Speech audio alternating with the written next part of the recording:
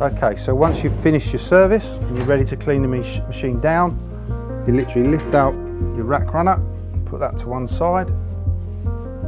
You can move, remove the wash arms if you need to, but just inspect them and if they're okay, they just need a wipe.